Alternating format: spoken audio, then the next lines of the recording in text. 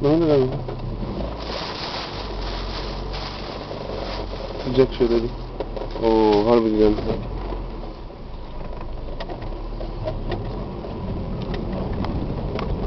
Ekmek aldık. Diyelim. Bir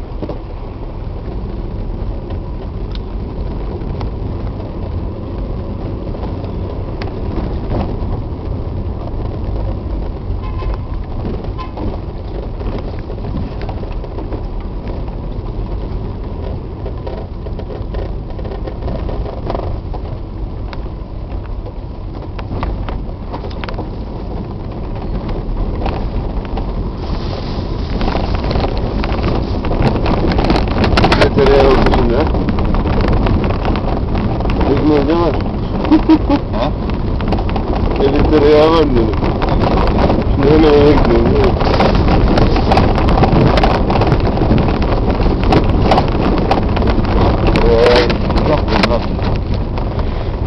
Oo, o zaman daha mı? Al aşağıda öğretip Bağırdın değil mi? Oğlum öğretmen. Öğretmenlik zaten sabır.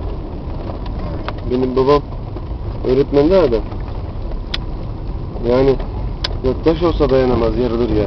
Ne sabırlı adam ya. Öyle şeyleri yani mesela inanılır gibi değil ya. Rahat olursa ne güzel kaldırıyor.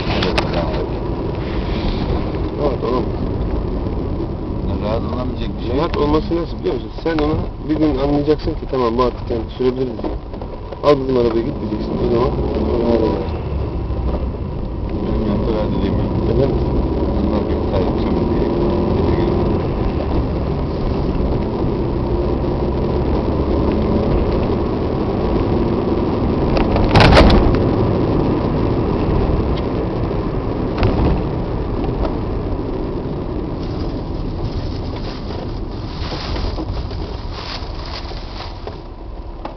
Ben için tam sana gideceğim.